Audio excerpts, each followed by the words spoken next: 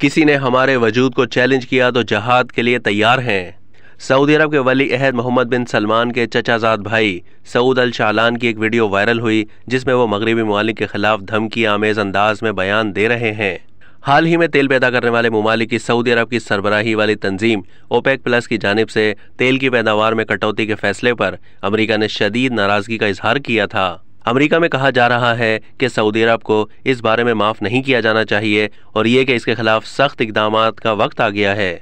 इसी के रद्द अमल में सऊद अल चालान वीडियो में अंग्रेज़ी और फ्रेंच जबानों में मगरब को धमकी देते हुए कह रहे हैं, किसी ने इस मुल्क के वजूद को चैलेंज किया तो हम सभी शहादत और जहाद के लिए तैयार हैं।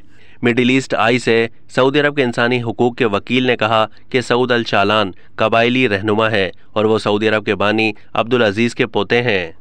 15 नवंबर 2022 से इंडोनेशिया में जी ट्वेंटी ममालिक का इजलास होने वाला है। जी ट्वेंटी में दुनिया की बड़ी मीशतों वाले ममालिक शामिल हैं। इस इजलास में अमरीकी सदर जो बाइडन और सऊदी वली अहद मोहम्मद बिन सलमान भी शिरकत करेंगे।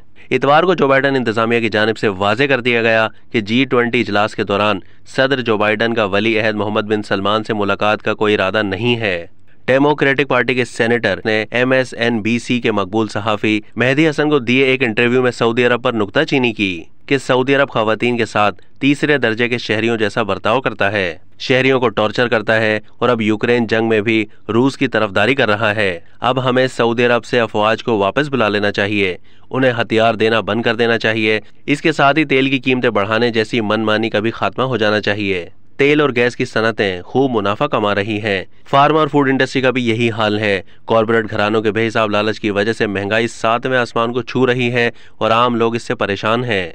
सऊदी अरब की सरबराही वाली ओपेक, यानी तेल पैदा करने वाले ममालिक की तंजीम ने तेल की पैदावार में कटौती का फैसला किया था।